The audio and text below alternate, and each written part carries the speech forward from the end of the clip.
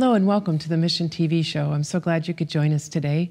We have special guests from uh, missionaries from Bolivia with us today, and um, want to share with you a little story about what they're doing there. And something that happened recently brings a Bible text to mind, and that is in Psalms 91, verses 10, 11, and 13. There shall no evil befall thee, neither shall any plague come nigh thy dwelling, for he shall give his angels charge over thee to keep thee in all thy ways. Thou shalt tread upon the lion and adder, the young lion and the dragon shalt thou trample under feet. Now, you know, as missionaries, many times we depend on these verses without remembering that they're there sometimes. You know, we, we know that God has promised to take care of us, and sometimes we see it more clearly than others. And we have Steven and Helen Wilson with us today. Welcome to the show. And um, we're just excited to hear how God has been working and how these verses are real to you through several experiences that you've shared with me already. And uh, we want to start with the with treading upon the adder. What happened, Helen? We were going home Sabbath evening, and it was dark, and I couldn't find my lantern, and I had my your flashlight. My flashlight, and we had my potty pail outside because I didn't want to go hiking to the outhouse. Okay. And so I just assumed that the inside lights would be light enough to find the pail and no problem. And I found the pail, but I realized I was standing on a snake. Oh boy. And so I jumped up and ran back in and screamed for Steve, and he came out with the flashlight. And it was one of the venomous snakes. Oh my. The kind they don't have any anti venom for. Okay. Takes two days to die from their bite, and then there's no hope. And we realized the only reason why it couldn't bite was it had a rat in its mouth. Oh. so God gave it something to bite before. yes. You got there. Wow, what a story. It's so that reminded you very clearly of this verse. That God still had to work and He was protecting us. Right. His angels were there chasing that little rat where the snake could get it in time. yeah. Wow, praise the Lord. That's a neat story. And um, Steve, I know you've had stories also, and we've got some pictures to go through, mm-hmm. but you've had some stories that of God's protection for you as well. Mm-hmm. As a as a mission pilot, I'm sure you encounter all sorts of things. Yes, on motorcycles and, and airplanes and just walking down the street. I've been robbed at gunpoint in Santa Cruz. Okay. So um, we've seen it many times. God took care of you. Yeah. Even though you were robbed at gunpoint, mm-hmm. he was he was still there caring for you. Wow. Well, let's start through the story. I know you've got you've got pictures showing where you're at now. Can you explain where you're at and? Mm-hmm. Helen and I we live just out of Santa Cruz, Bolivia, just outside of the city basically on the edge of the city. Santa Cruz is a city of about a million people. Okay. It's um, one of the largest cities in Bolivia. Um, we have a few pictures just to show what it looks like where we're living. Uh, that's the house we're living in. It basically looks almost the same right now, except for we have doors and windows. Okay. And uh, this was our first table before we, we'd uh, purchased a table. So you make and do. that was all our cutlery and, and, all our plates and everything we had. Oh, yeah. wow. okay. But it was enough. You could eat. Mm-hmm. Yeah. And uh, there's the kitchen. Okay. With running water. And, oh, running water. Nice. And a uh, drain uh, for the sink. Okay. And this is our temporary outhouse, which um, we still, still are using. Temporarily. Yeah. Hence the bucket. and here's the temporary shower. Well, it has walls. That's better than yeah. the toilet area you just showed us. The the toilet has has trees around trees it. Trees around. Yeah. Um, we're still using the temporary shower, but uh, when we left Bolivia, we were tiling the bathroom so we're hoping to finish the bathroom when we go back in, in the temporary facilities. Okay. So you'd have something permanent. Mm-hmm. Nice. That's beautiful tile. I am involved, I'm a volunteer with the Mission Aviation Project in Bolivia. I'm an aircraft mechanic and I'm also a pilot. I uh, help, I'm one of the pilots involved in the, in the project in Bolivia. Uh, I, we help fly missionaries to and from mission projects, and we help fly any supplies they need Okay. or whatever they need flown. Okay. 'Cause So that the- those are some of the missionaries that you're taking out to a Mhm. project or bringing back from a project. Mhm. Okay. Some of the projects are fairly deep into the jungle, and in the rainy season, the roads get impassable. They're dirt roads, and they go underwater. And so all the food going to those places also have to go over the roads over the river, and the river takes forever. And so sometimes we run out of food, and the mission plane is go. the way to go. Right. Right. That's such a blessing that you can be of that that kind of Mm. service Or if there's a medical emergency, the only way out is by plane by plane. Yeah. at that in those seasons. Okay. And the other Mhm. way, you know, even hiking, even if it's not rainy, it takes No, too long many it- times. When the roads are good, it's at least three days by bus. That's when it's going fast as it can. Yeah. So still, if there's a medical emergency, they still need the plane. yeah. So is this is this another pilot there with you? I, he is an aircraft mechanic Okay. that was visiting with us. Oh, okay. This is uh, the airport in Guayaquil, Bolivia, in northern Bolivia. It's on the border with Brazil, and they accept international flights there. That's the control tower behind the airplane. Okay, a little different from what we're Yeah. used to. Okay, so they um, there's GMI has a project there in Guayaramerín. Mm-hmm. Okay, It's Help. a high school boarding school. Mm-hmm. I worked there for two years. okay, And basically, they also have an elementary school, but it's just a day school. Kids come and go home every day. The high school is there to not only train, obviously, give the education of a high school, but to train them in basic Bible work. When they finish the school, they're not quite ready to go out on their own. And so other projects are starting to be started so where they can go out and actually get a trade, get more Bible work, and be independent Bible workers. okay. So they But can have experience Mhm. in a guided type of situation. But there's a lot of students who are coming out of there who are gung ho to be missionaries. awesome. And That's wonderful. A real blessing and a real encouragement, Yeah. especially now that my students are graduated and are working with us now. It's really that's, cool. That's great. That's really great to see. It's an exciting short-term reward. You know, we know that our reward is ultimately in heaven when, when we see the souls saved, but when we see the workers come into the work, that's a blessing. It's a reward. So, what is? Where is this place? This runway is in a place called Rurrenabaque, Bolivia. Uh, GMI has another project named Familia Feliz near this town. This is a picture of one of the runways there. They have paved a runway crossing this runway, so they have a better runway now.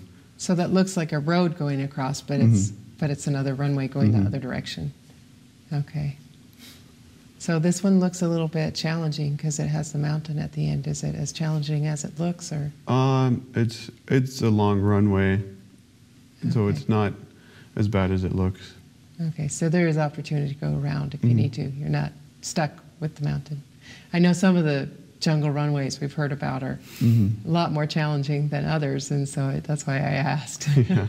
But in some of the, the commercial planes, all you see is you can see out the front window. And when the people see the mountain coming at them really fast, you, they start People start reacting. screaming. oh boy.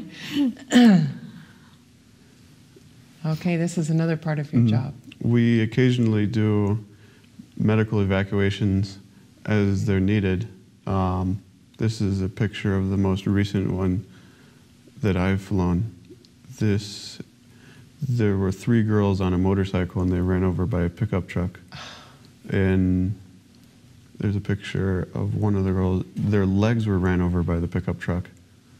Um, and we were there in Rurrenabaque when the accident happened, and we were able to fly them the next morning to the hospital in Santa Cruz. Because the hospital there in Rurrenabaque, I don't think they even have an X-ray machine, Wow. and so if the if we had not been there with the airplane, they would have been traveling over roads like this with, with broken bones. For at least two days. So God is God is mm-hmm. blessed, and He had you be near to where they crashed when Mhm. they were going to need you. And it, to us, it looked like delays and delays and apparent delays in our plans because we had it all scheduled. But then So at you the were end supposed of to the, leave there We were supposed Mhm. to leave two days later, Oh, but because of all the, I mean, before, two days earlier. um, but because of all the delays, there were two evacuation flights able to be done Mhm. exactly at the right time. Wow, praise the Lord. He provided. Mm-hmm. Well, that's good. This is yeah. This is the rainy season, or is this like all the time? It's like this Rainy season. Rainy season. sloppy, Yeah, sloppy mud. that's the highway. Wow. Yeah, main highway, right? The only road in. Yeah. Wow. Well, I'm thankful you were there. Uh, this is a picture of the Rio Beni in northern Bolivia. This is another way that people travel during the rainy season. They travel on the rivers. But as you can see with a picture of that river, it takes a long time. It's a roundabout way. Mm-hmm. Wow. We traveled up a different river, and it took us five days to get to the village where we were going to work.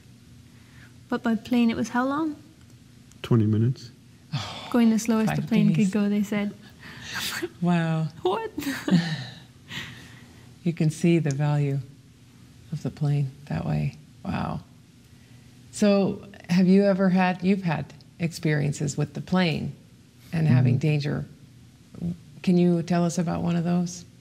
I think the next picture is the, yeah. That's the Um, that's the finish or the nearly finish of the story. So, hmm This is a picture of where I landed a plane off airport, off airstrip in Bolivia. I had taken off from Guayaquil in 2010, and I climbed up to 13,000 feet to fly over some weather, but the engine started developing, it lost power and started running rough it lost partial power uh, 60 miles out over the jungle during rainy season. It was uh, couldn't there couldn't maintain altitude, so I turned back and headed back towards the airport I'd left from in Guayaquil, and uh, I made it most of the way back to the airport before the engine the engine gradually ran worse and worse, and eventually I found a, f- a field, and there was a single lane dirt road running through the field, and the engine I finally lost complete power, and the, I, God worked it out that uh, I was able to make it there, and uh, it was uh, a beautiful kilometer long stretch of dirt road that was smooth. All the rest of that road had ruts and potholes in it, wow. and uh, nobody was on the road, and uh, was able to make a landing without damaging the airplane. And I thought we would never see that airplane again, but I was able to land without putting a scratch on the airplane. And then it started raining for five days, and we were able to push the plane up onto a little hill there, uh, which was the only spot that didn't flood in the area. and we were able to recover the airplane without any damage. Wow. So God provided the little dirt road, and yeah. and then even though it rained, He provided a spot for His Mhm. plane. Wow, that's a neat neat story of God's you know care for you because you know 60 miles out over the jungle, if your engine had failed immediately, that would have been a bad story, hmm a very different story. But God, God protected. Yeah. Oh, That's neat. So, where did the two of you meet? In Guayaramerín. Okay. So, so you met in the mission field. Mm-hmm. Okay. You I want to share a little of the story there? What were you doing there, Helen? I was at that time working at the high school there in Guayra. Um, that was the second year that I had been there. And Steve came down as the new pilot. DJ Knott had been down there, and we were very sad to see him go. Who's gonna fly us now? Who's gonna be our rescue pilot? And then Steve came down with another doctor pilot, and I didn't have much time to really get to know him during the year because I was girls' dean. That's a and busy that's all consuming, and I was a teacher. I had no time. But then at the end of the year, my mom came down, and my sister, who was working at Familia Feliz at the same time, um, they came to visit for a little bit, and they got to know Steve. And my mom decided that he was a good guy. and we started to write. And then the next year, I went to work in Norway at the Mattison Mission School. And so we just kept in touch by email. And he didn't write very often, but then I would figure out why. Like, I was stranded in the jungle because I had a plane crash. I, didn't, I didn't crash. Well, right. but the plane went down and you were out there for a while. Or, and then you would tell crazy stories. I was held up at gunpoint, almost killed myself on a motorbike. I'm like, wow, you're still do, alive. do I want to be involved with this? But But you see time and time and time again where God preserved his life. And you, it was obvious that he had a work to do and that God was protecting him, would keep him alive as long as necessary. yeah. so you had gone there. Where are you from originally? Are you I'm from Canada. from Canada? Mm-hmm. Okay. So you had gone down to be a missionary just just on your own. Yeah.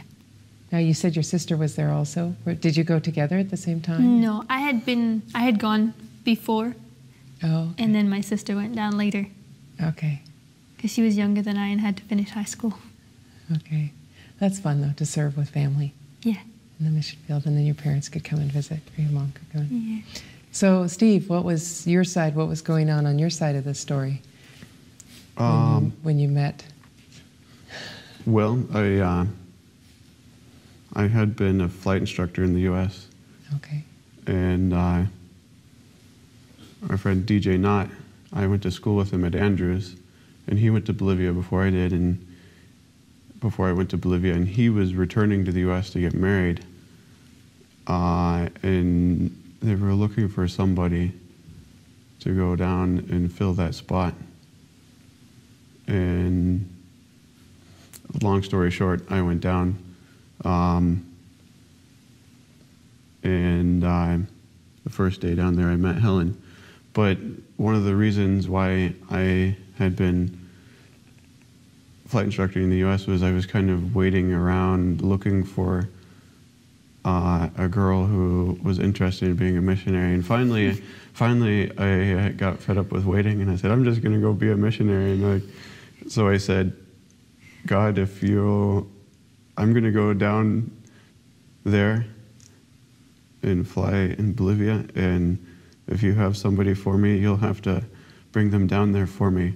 But in in the end, I realized that she was already down there waiting for me.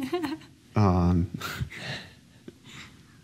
she, God actually brought me down down to where the girl was who I was going to marry.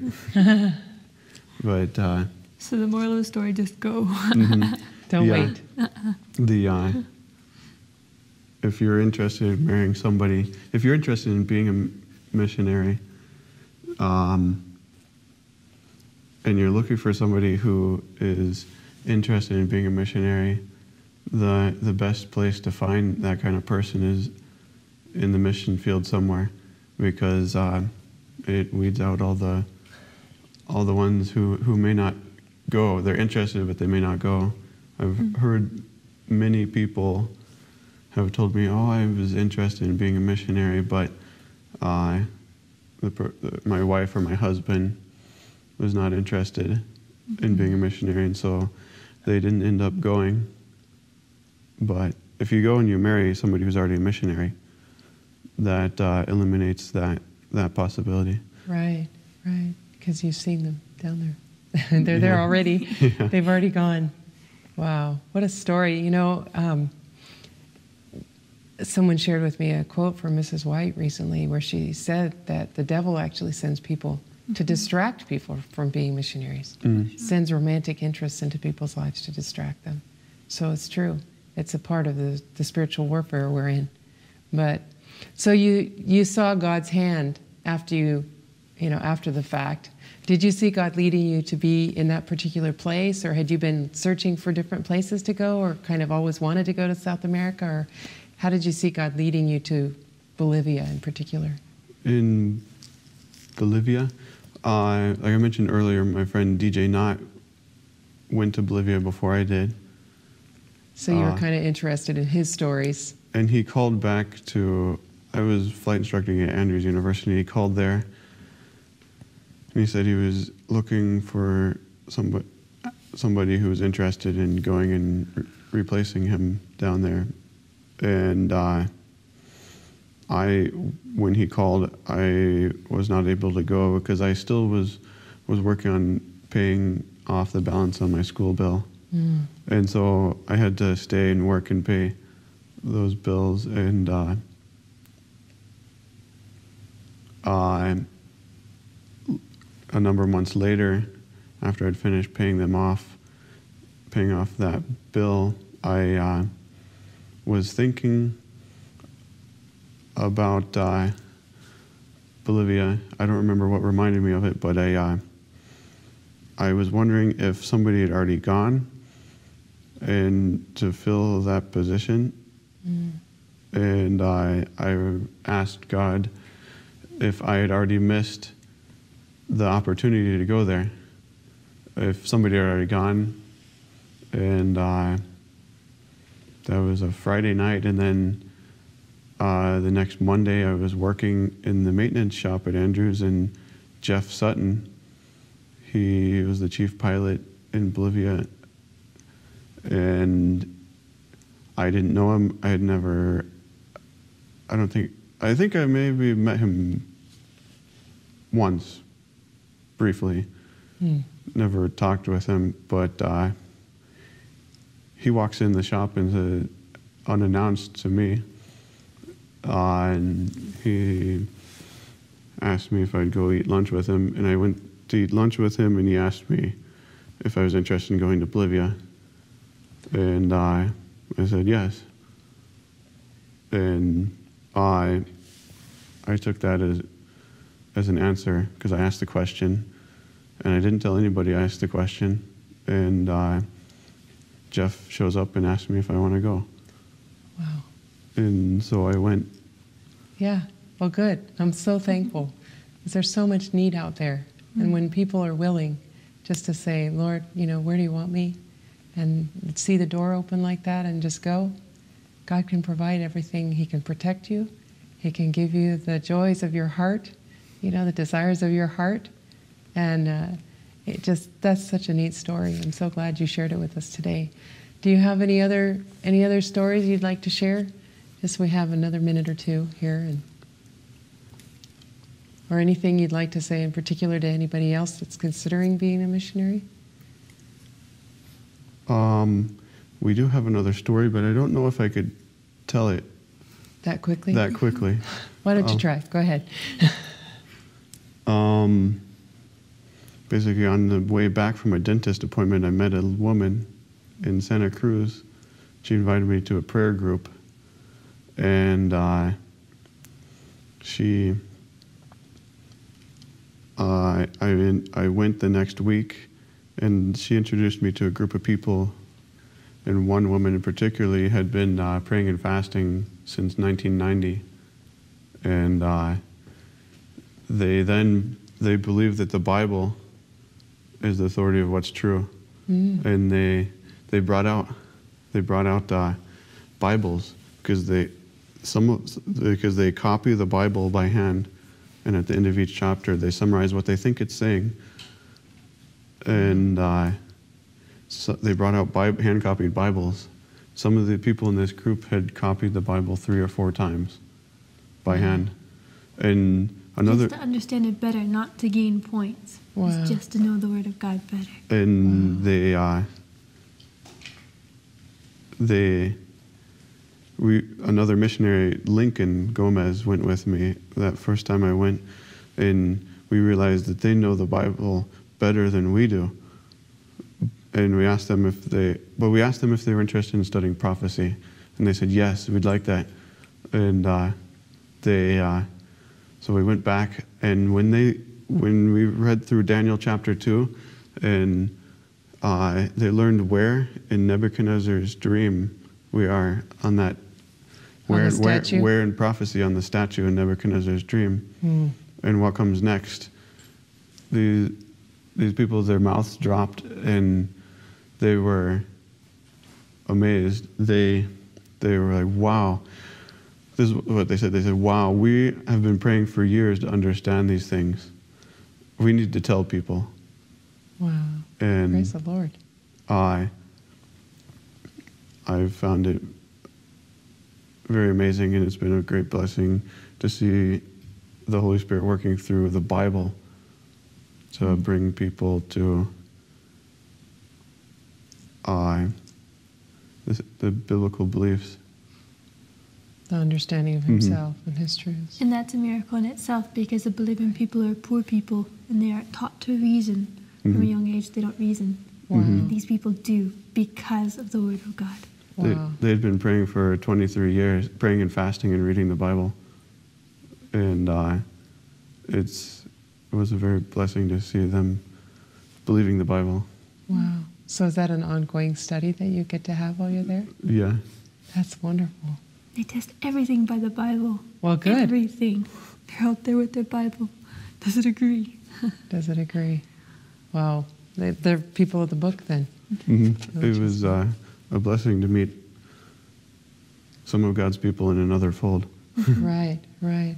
Thank you so much, Steve and Helen, for joining us today and for sharing these stories of how God is leading and how God is protecting. And, and I just, I just want to encourage you to continue, continue following God. It's such a testimony.